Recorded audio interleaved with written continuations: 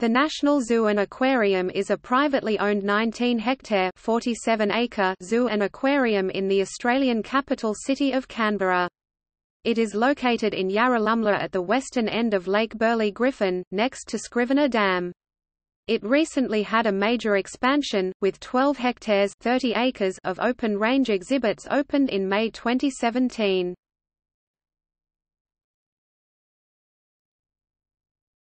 Topic. The Zoo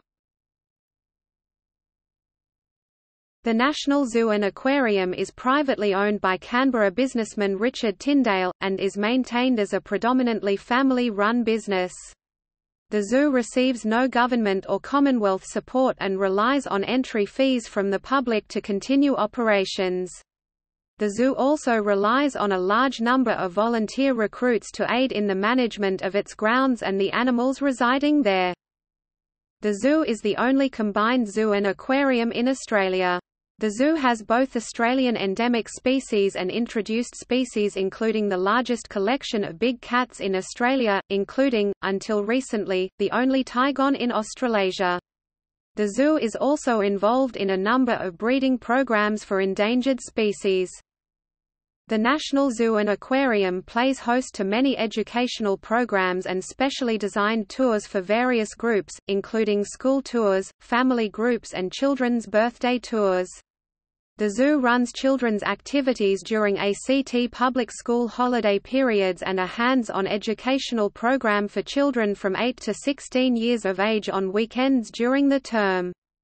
The zoo runs interactive tours and animal experiences for visitors, including the Zoo Venture Tour, the Keeper for a Day experience, Walk on the Wild Side, the Family Tour, Meet a Cheetah, plus daily information sessions and weekend keeper talks.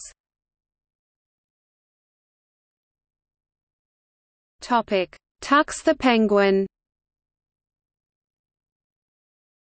While visiting Canberra Zoo, Linus Torvalds was bitten by a small penguin, providing the inspiration for Tux the Linux mascot.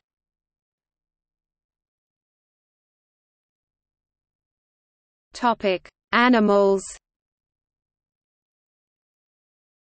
Australian animals at the zoo include dingoes, koalas, western grey kangaroos, swamp wallaby, Parma wallaby, emu, Tasmanian devils, little penguins and a wombat. Winnie the oldest known wombat in captivity, the zoo maintains a collection of large cats including tawny African lions, white lions, Sumatran tigers, Bengal tigers, snow leopards, cheetahs and servals. Other mammals include rhinos, brown bears, sun bears, zebras, giraffes, common eland, maned wolf, blackbuck, Barbary sheep, wapiti, fallow deer, alpaca, meerkats, black-capped capuchin, siamang, common marmoset, pygmy marmoset, cotton-top tamarin, black and white ruffed lemurs, ring-tailed lemurs, black and white colobus, squirrel monkey, de Brazza's monkey, red pandas, and oriental small-clawed otters. Also on display are Goodfellows tree kangaroos, African wild dogs, spotted hyenas. The aquarium includes a variety of tropical marine and freshwater bony fish including Murray cod, Queensland grouper, humphead wrasse, barramundi as well as giant moray, zebra moray. There are several shark species including blacktip reef sharks, zebra shark and epaulette shark.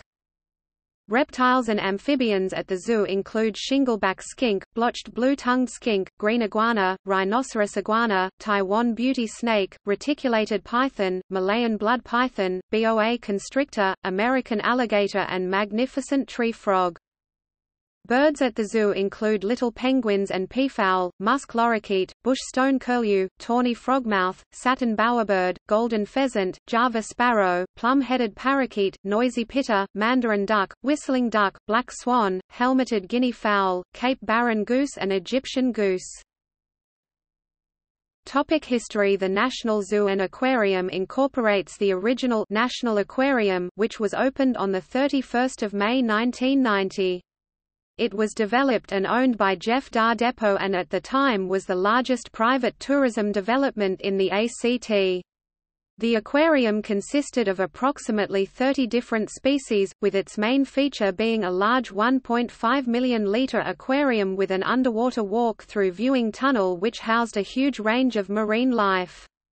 This was reportedly the first of its type in the world and was manufactured by a local Canberra company. Eleven large high-technology fish tanks built for World Expo 88 at Brisbane were also incorporated into the structure utilizing a biological filter bank of a type never before used in Australia. It was at the time the largest closed synthetic saltwater oceanarium in the Southern Hemisphere. The aquarium also boasted a 300-seat restaurant and function area the Barbary Coast Restaurant and Brasserie, later changed to Pirates Cove Restaurant it was situated on around 18 acres of land which also incorporated a series of outdoor ponds and streams for trout farming. Sadly the venture was never fully completed as envisaged and did not attract the wildly optimistic up to 8,000 visitors per day. The construction company suffered severe cash flow problems and in August 1990 was forced to put the aquarium on the market.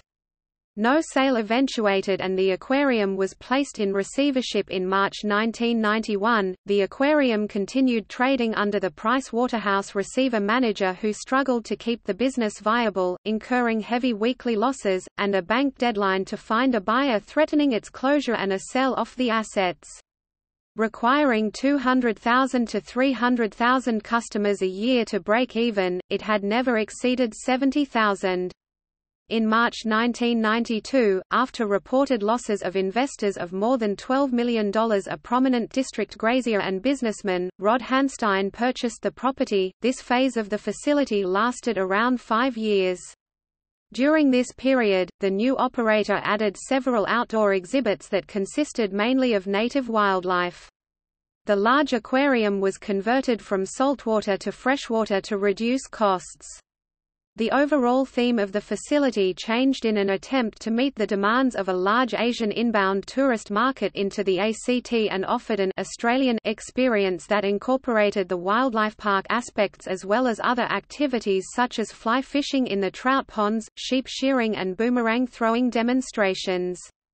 It also changed its name in 1993 to the National Aquarium, Australian Wildlife Sanctuary in 1998 the facility was again up for sale and purchased by the Tyndale family.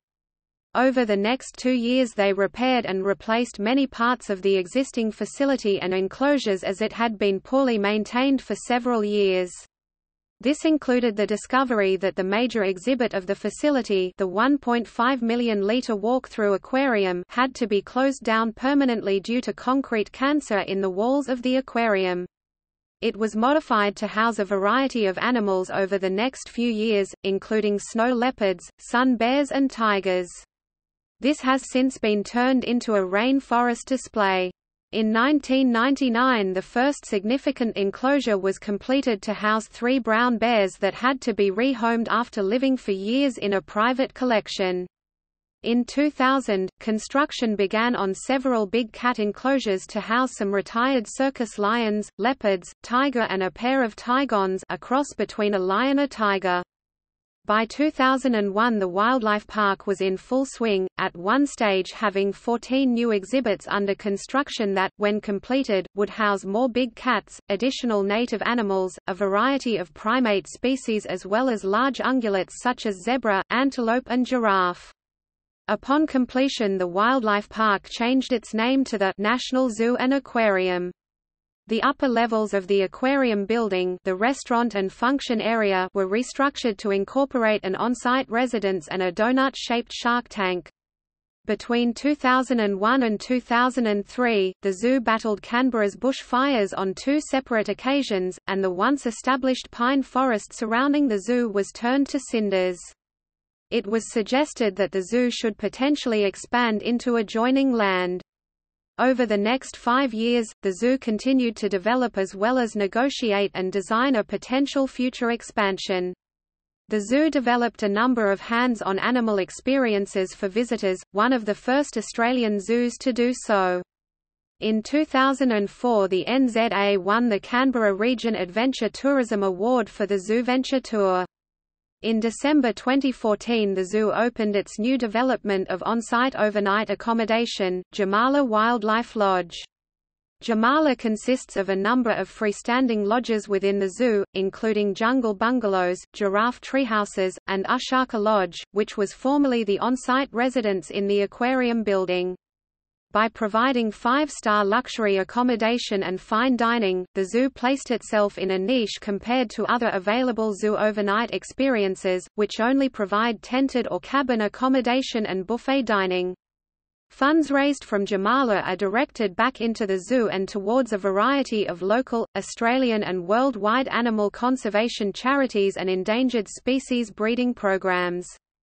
Since its opening, Jamala Wildlife Lodge has won variety of awards including Canberra Region Tourism Awards, Best Unique Accommodation 2017 and AHA National, Best Deluxe Accommodation 2017 In May 2017, the zoo officially opened their new open range section, effectively tripling the size of the zoo. The National Zoo and Aquarium is now one of the largest privately owned zoos in Australia and is an accredited member of the Zoo and Aquarium Association of Australasia ZAA. It has the only inland aquarium exhibit in Australia.